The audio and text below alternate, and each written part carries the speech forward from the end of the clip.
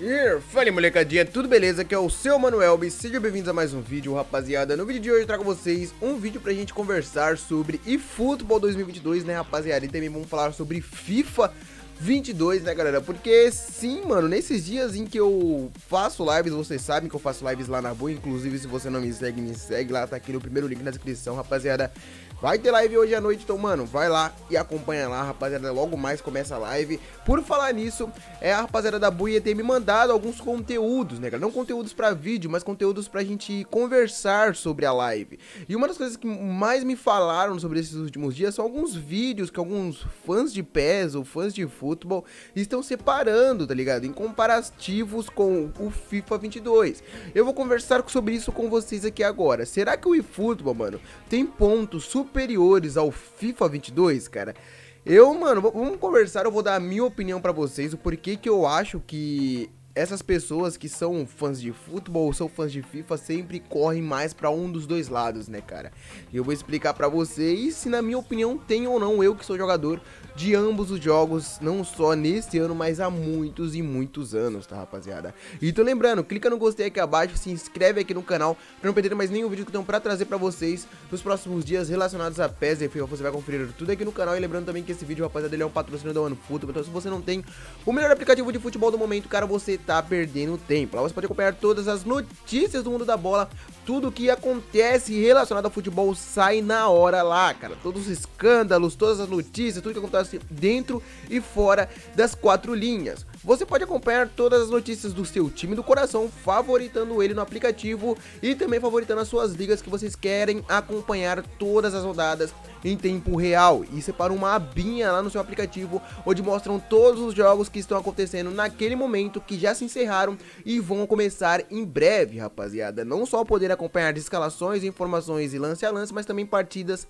ao vivo, cara. É claro que não vai só disso, mas também você pode acompanhar notícias sobre mercado da bola e muito mais. Então se você não tem OneFootball, cara, baixa aqui, tá no primeiro link na descrição, não perde tempo, só você clicar no link, você já será redirecionado para a página para fazer o download. Então, mano, se você não tem, baixa lá que vale muito a pena, rapaziada. Então vamos lá falar sobre esse assunto, que na minha opinião é muito importante a gente conversar, é muito importante a gente tratar. Por quê?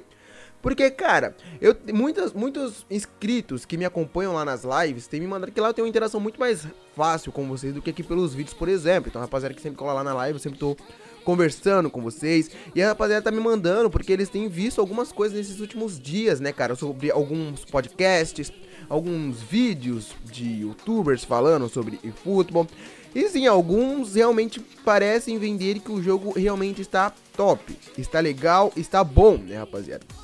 Muitas pessoas perguntam lá minha opinião e eu falei, cara, eu vou inclusive fazer um vídeo um vídeo sobre isso, porque nessa última semana eu vi um vídeo que alguns youtubers estavam postando, algumas, muitas pessoas da comunidade estavam postando, onde mostra algumas movimentações do FIFA em comparação com algumas movimentações do eFootball. Eu não vou mostrar aqui, tá, rapaziada, porque eu vi, não, esse não é o assunto do vídeo, mas é só um exemplo, mas eu tenho certeza que você já deve ter visto, se você não viu, cara, você dá uma procuradinha que você acha rápido, porque muitas, muitos lugares estão postando esse vídeo comparativo onde mostra algumas movimentações é, de comparação, né? E é claro, no vídeo fica claro que o eFootball tá com uma movimentação melhor, né, cara? Só que, mano, quem joga FIFA percebeu, tá, rapaziada? Quem joga FIFA percebeu que essas animações desse vídeo são do FIFA, pelo menos, são da antiga geração, né, rapaziada? São da antiga geração, cara. Isso ficou claro na qualidade gráfica, na movimentação de jogador, em tudo, mano. Que sim, são gravações capturadas da antiga geração. E eu pensei, cara, será que, que esses vídeos são feitos com o propósito de promover o, o, o eFootball? Porque eu acho que a pessoa que fez o vídeo sabe que aquilo é antiga geração. Ou as pessoas que são um pouco mais ligas podem não perceber que aquilo é antiga geração. Ou seja, a antiga geração, além de ter os gráficos inferiores, não tem a presença mais efetiva do Hypermotion, que essa é a grande novidade, que não está como nós esperávamos também, mas está presente no FIFA da nova geração, tá, rapaziada? Que o Hypermotion, como vocês sabem, são mais de 4 mil novas movimentações realistas que a EA Sports capturou de um jogo real dos jogadores parceiros e selecionados, né, rapaziada? Então é óbvio que aquelas gravações são da antiga geração, e muitas pessoas falaram que a antiga geração estava a mesma coisa da nova geração, tá ligado? Então isso é óbvio que não é verdade, tá, rapaziada? Se vocês pegarem esse vídeo que foi é, liberado e compararem a efeito com a nova geração, vocês vão perceber que sim, a nova geração está muito melhor, né, rapaziada? Então eu acho que as pessoas que estão fazendo esse vídeo até compartilhando, né, cara, esse tipo de vídeo. É, mano, pode ser sim para promover um pouco mais o eFootball, pra mostrar que o jogo não tá tão ruim, tá ligado? Eu, sinceramente, é óbvio que as pessoas que não se adaptam ao FIFA vão continuar achando que o eFootball é melhor que o FIFA, porque muitas pessoas estão falando isso, tá, rapaziada? Que o eFootball é melhor, mais jogo que o FIFA. É um jogo melhor dentro das quatro linhas. Mano, eles podem falar isso, eu falei isso na live para as pessoas que me perguntaram, porque eles não se adaptam ao FIFA, tá ligado? Eles tentam jogar o FIFA e não conseguem. Porque eles estão há anos e anos acostumados com o PES. E o eFootball é mais fácil para jogar quem é acostumado com o PES do que quem é acostumado com o FIFA, né, rapaziada? Então, mano, eu acho que é mais por causa disso que essas pessoas costumam falar que o eFootball tá melhor está superior ao FIFA.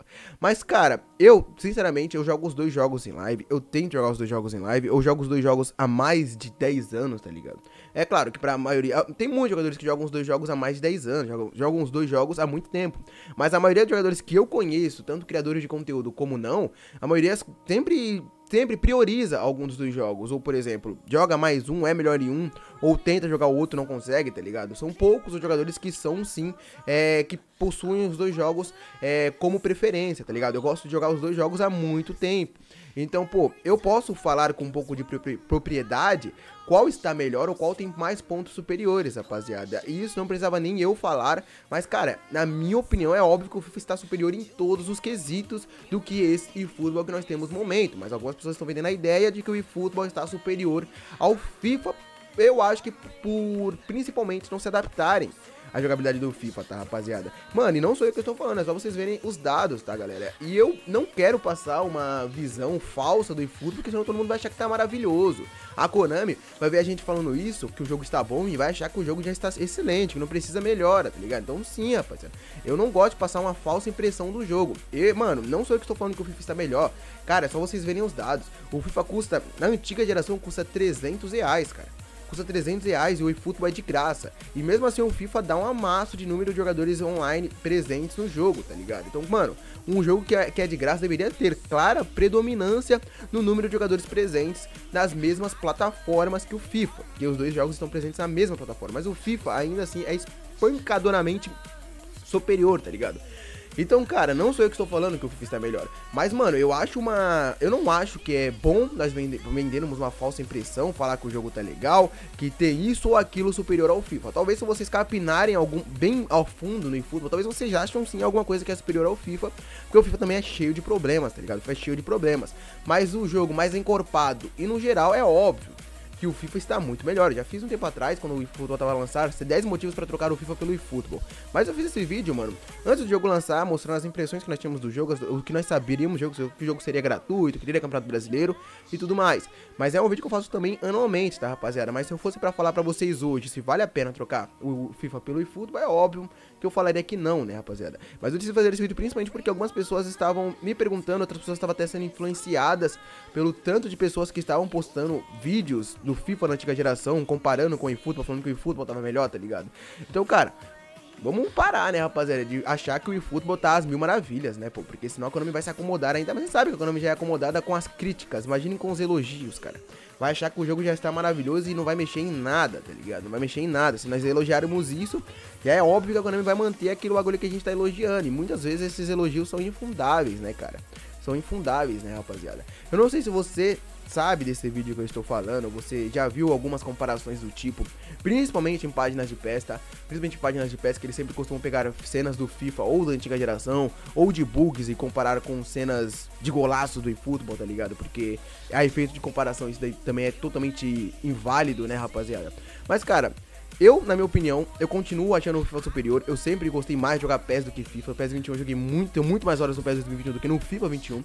Mas, cara, em live eu jogo horas e horas com a rapaziada e não tem como eu jogar aquele futebol, rapaziada. Infelizmente eu não consigo jogar o eFootball, cara. O PES 21, infelizmente, eu já me enjoei do PES 21. Então, cara, infelizmente lá nas lives tá sendo só FIFA, só FIFA, né, cara? E por que eu detesto o PES? Porque eu sou fifeiro? Não, porque o eFootball, na minha opinião, tá no momento injogável, né, cara? E eu não sei falar para vocês pontos que a gente pode destacar no eFootball, que, por exemplo, são superiores, bem superiores ao do FIFA, né, rapaziada? Mas agora se for falar no contrário, é, eu acho que eu poderia fazer uma lista imensa, né, galera? Eu não sei você, qual você acha melhor, por exemplo, que eu vi muitos jogadores de PES que estão deixando o PES e indo para o FIFA, mesmo jogadores que não, não tinham anteriormente se adaptado à jogabilidade do FIFA. Mas eu falo principalmente para você, que sempre jogou os dois jogos assim como eu. Qual jogo você realmente acha que está melhor? E futebol ou FIFA? Ou você acha também que é compreensível ou descabido essas pessoas ficarem compartilhando coisas, por exemplo, que botam o futebol à frente do FIFA? Que isso, pelo menos na minha opinião, é algo completamente, é, vamos dizer que sem noção, não sei, mano.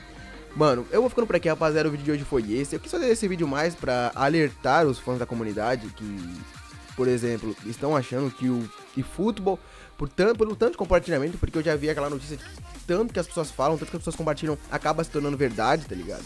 Então, se algumas pessoas estão sendo influenciadas. Mas, mano, eu não tô fazendo esse vídeo pra falar que o FIFA é ótimo, que o PES é ruim. Mas eu tô fazendo esse vídeo, cara, pra gente cair na real. Porque eu já falei pra vocês, não é bom a gente ficar falando que o jogo tá bom, que o jogo tem isso de bom, tem isso de top. Porque senão o nome vai é, relaxar, como sempre é relaxada, e vai achar que nós estamos gostando se a gente sempre ficar postando coisas positivas sobre o jogo, tá ligado? Então, sim, eles têm como reflexo o feedback da comunidade. Então, se vocês sempre destacarem aquilo que vocês querem que melhore, tanto para o PES quanto para o FIFA, sempre que vocês querem que melhore, sempre que vocês acham que tá ruim, a chance deles estarem melhorando, do tanto de pessoas que estiverem compartilhando a mesma informação, vai ser ainda maior, tá ligado? Por isso que eu falo pra vocês, se você tá satisfeito com o eFootball, vai lá, fala, posta, tá ligado? Que é a única maneira que eles têm de saber o que, que nós da comunidade não estamos gostando dentro do jogo.